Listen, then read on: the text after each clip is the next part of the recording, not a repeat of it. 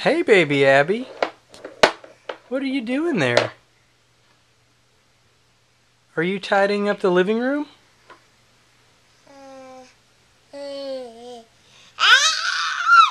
Why are you tidying up the living room? Because your blocks are making a mess? Why does it matter that your blocks are making a mess?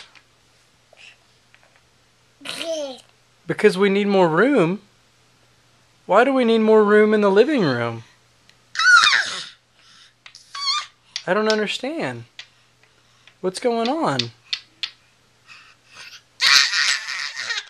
You're making room for the new baby? What new baby?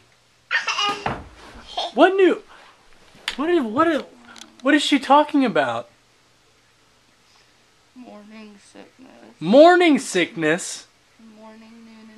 What? What in the world? What is morning sickness about? Is mommy making you a little brother or sister? Are you excited? You're gonna be a big sister. Yay! You're gonna get to share your blocks. You're gonna get to be able to show your, your little brother or little sister how to play with blocks.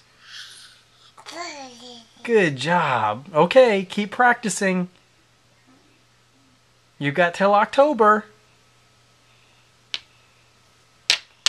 I know that's a long time. I know you're excited. Okay. It'll feel like no time. I promise. All right. Bye bye bye. Bye bye. Bye bye.